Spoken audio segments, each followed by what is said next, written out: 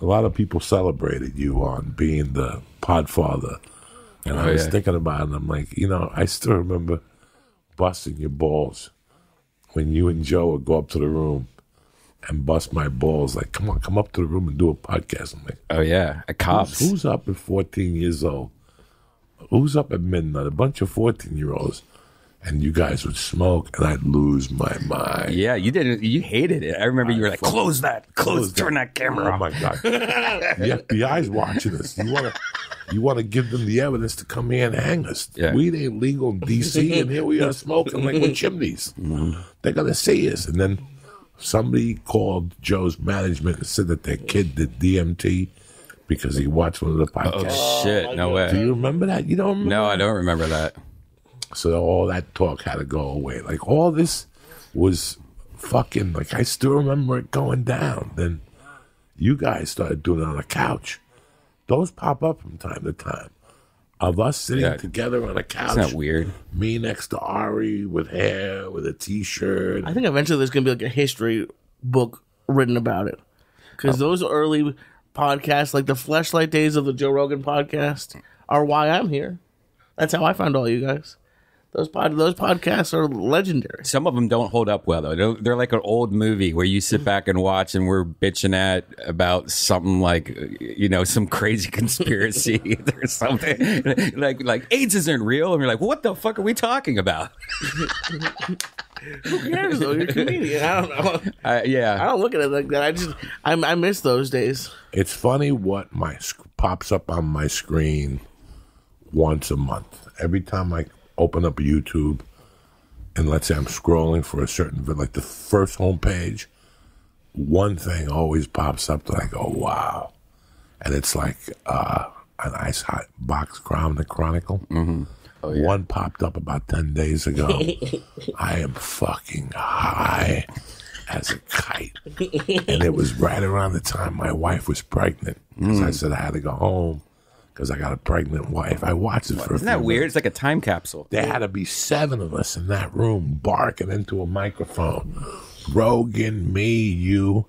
I watched the one when Doug Stanhope called me Joey Jingle. That's right. and I was dying. And, and, and then I did one with me, Stanhope. Yeah, and you got mad about it. I remember. Did you mad? I'm not Joey. I didn't take your money. No, I, I sure I got mad. I, well, don't accuse me of something I didn't do. If I did it, I did it. And but the, the reason I adore Stanhope on Rogan is because I egg him on to light cigarettes. Oh yeah. Like I'll pull him in the side and go, listen, Rogan loves when you smoke. He loves to smell the cigarette smoke. and Doug Stanhope will look at me going, like, you're fucking crazy. He doesn't like cigarettes. Yes, he does. He just don't like telling people. Because every time Doug Stanhope takes a cigarette out, and Doug, he'll, talk, he'll talk to Joe like this for a minute. Then he goes, every time he does that noise, Joe's spine would jump a little bit. and I would fucking die.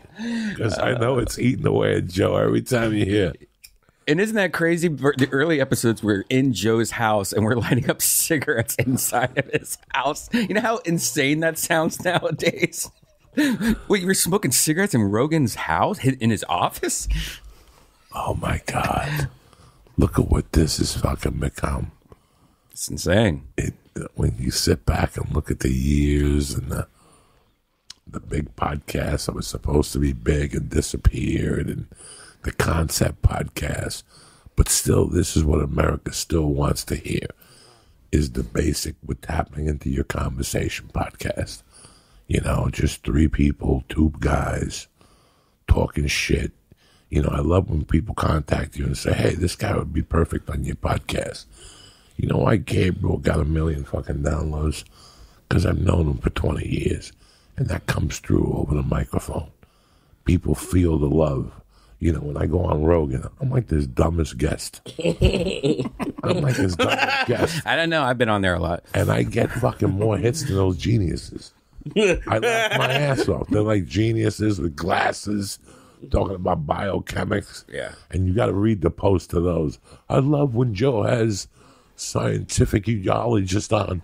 You're a fucking dummy. You know that? You try. You're probably sitting there with your glasses on. You got 20/20 vision. You just want people to think you're smart. It, It's so weird that then I go on there because we're not saying nothing that they haven't heard already. They feel the love going through the microphone. They feel this guy really cares for this guy. When Ralphie would come on here, you know, when you come on here, when Eddie comes on here, they feel that. Those podcasts, we get great numbers because we, we, we can sit here and hum.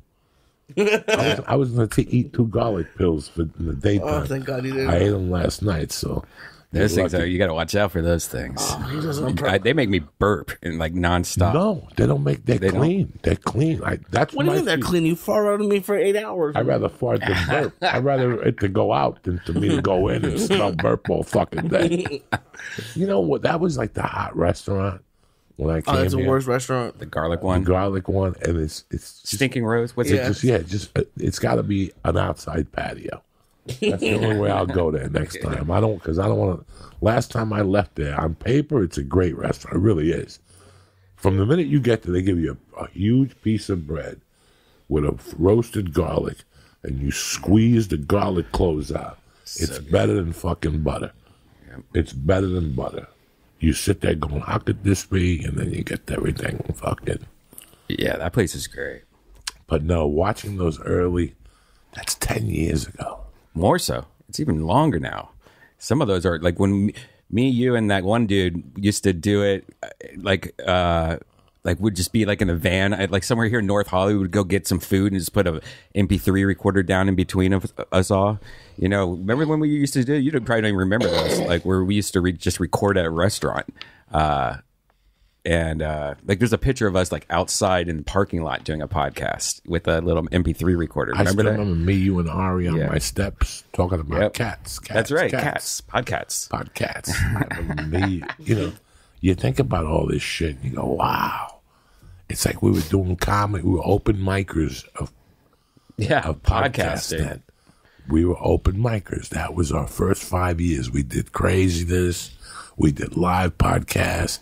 I mean, you guys have turned Kill Tony into a fucking machine. That's a yeah, huge It's- monster now. I watch Kill Tony sometimes, and I die of laughter. But I'm also watching what you guys are doing international, and I tell you what pisses me off: that not even truTV has reached that. oh yeah, It's it's it, this, this is a show that is could be fucking enormous. I think they're kind of scared of it because one it's one of the few, uh, last shows that I think is still raw and like there's like there's nothing PC about it. Like it, we actually lean against it, you know. It's and I think you know they look at it and like, well, there's a reason for the internet because of this show, you know.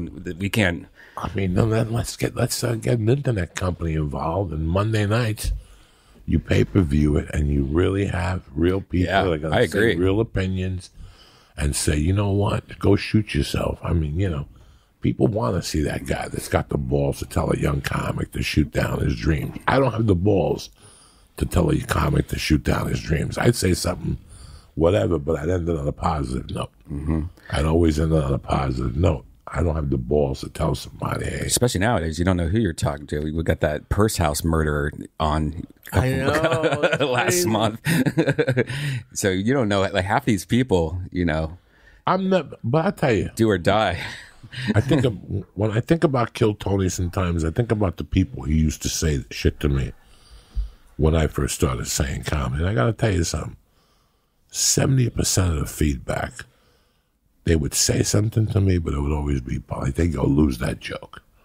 That hurts. that hurts when you fucking stay up one night and you think a joke is good, and it is a good joke. You just said it in the wrong place and it ate such a bag of dicks that the guy you're working with is like, just get rid of that joke. And that that hurts, you know, like that hurts. Nobody wants to hear that. But there's certain people that I've known for 20 years that we should just put on Kill Tony just to tell them why they've been here for 20 years and Oh, nothing yeah. has happened. Yeah. And we get that too. Some of these guys, we've been doing comedy for 20 years, and you're like, what the hell? How? Because this is this is what happened. Yeah. You know that joke you do? You never got rid of it. Yep. You never got rid of it. You know, when you're doing, I told him yesterday, you're friends for four years. What, what do you think? You're writing for a special? just write and get on stage every night. Mm-hmm. That's it. This is how.